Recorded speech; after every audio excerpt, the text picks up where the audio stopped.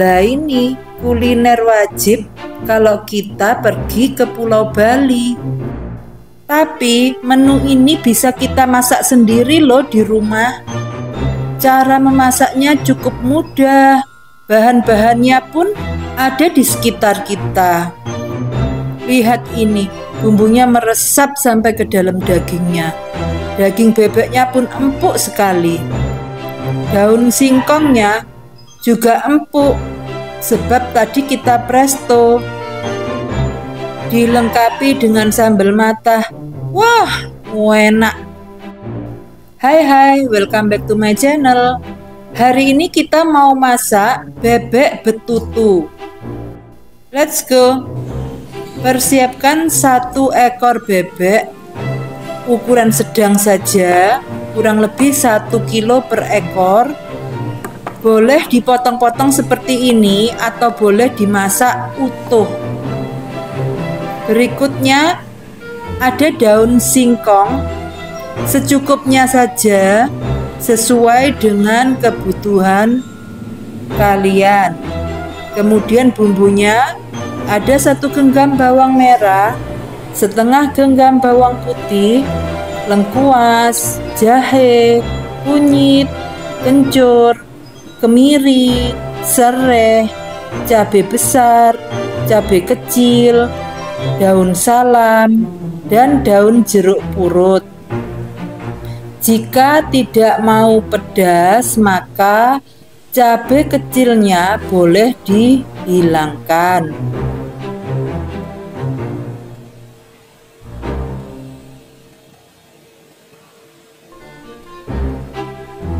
Untuk seasoningnya kita membutuhkan satu sendok makan penuh ketumbar bubuk, satu sendok makan penuh gula merah, satu sendok teh penyedap rasa atau MSG, dan satu sendok teh garam.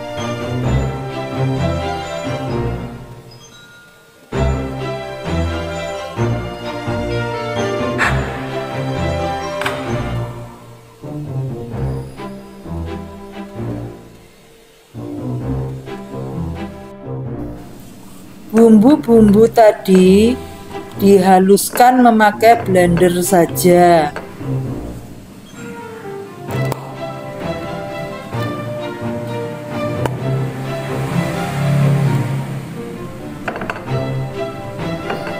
Yang tidak ikut di blender itu serai, daun salam, dan daun jeruk purut. Sekarang kita mau merebus daun singkong terlebih dahulu.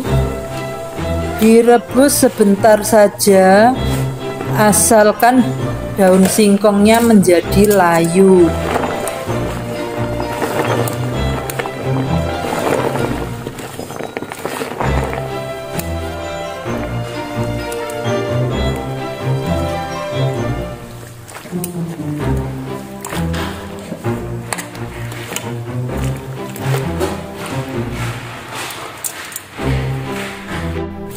Boleh ditambahkan sedikit garam jika suka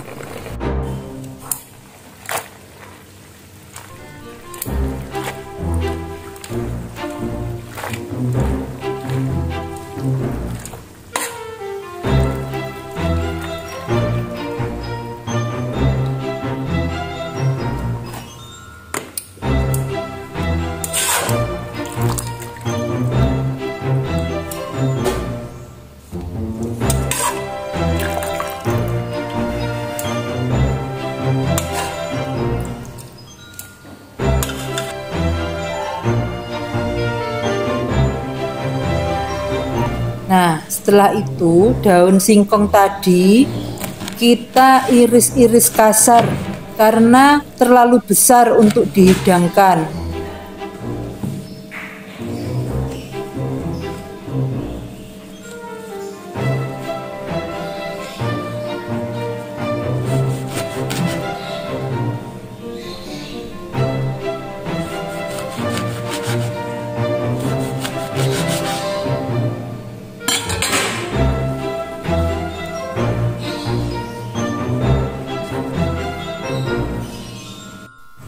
Sekarang kita mau menumis bumbu halusnya dengan minyak secukupnya. Ini aku tumis di dalam panci presto saja sekalian nanti untuk merebus bebeknya. Bumbunya ditumis sampai wangi dan tidak berbau mentah.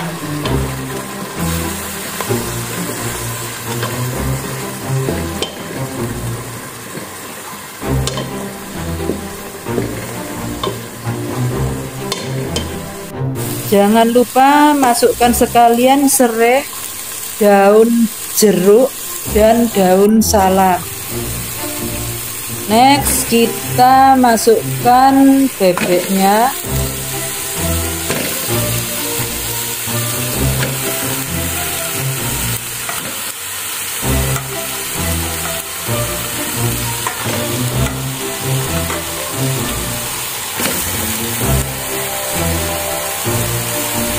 lalu masukkan air kurang lebih 750 ml masakan ini kuahnya tidak banyak ya jadi airnya juga jangan terlalu banyak.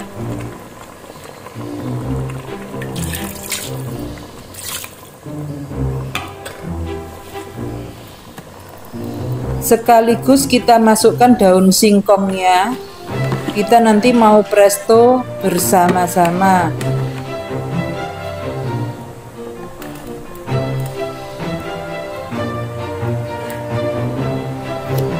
Seasoning masuk.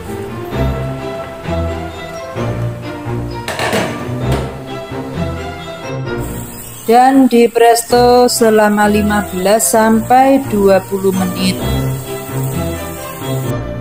Nah, ini dia setelah matang. Masakan ini wangi sekali.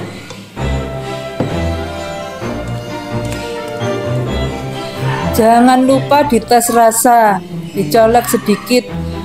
Apabila kurang asin atau kurang manis boleh ditambahkan dan diaduk-aduk sebentar.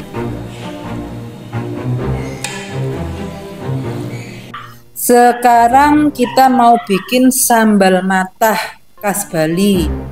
Di sini ada bawang merah, cabai, daun jeruk purut, serai. Ini serai kita ambil tengahnya saja. Kemudian ada air jeruk lemon. Ini adalah terasi.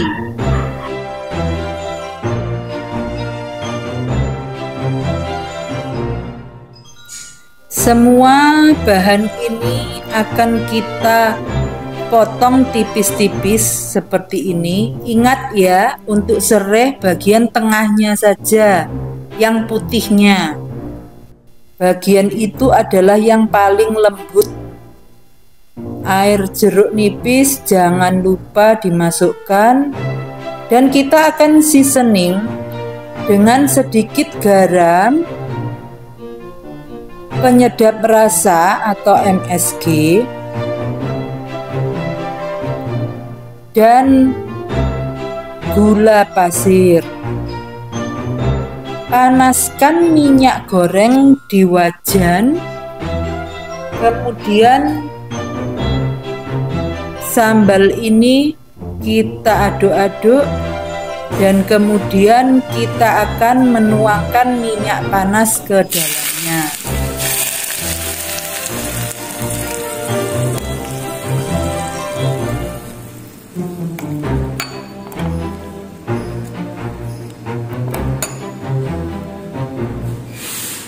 Tara, ini dia bebek betutu ala Mama Lina. Daripada jauh-jauh ke Bali, mending kita buat sendiri di rumah. Terima kasih sudah menonton, semoga bermanfaat. Jangan lupa subscribe, like, komen, dan share ya. See you.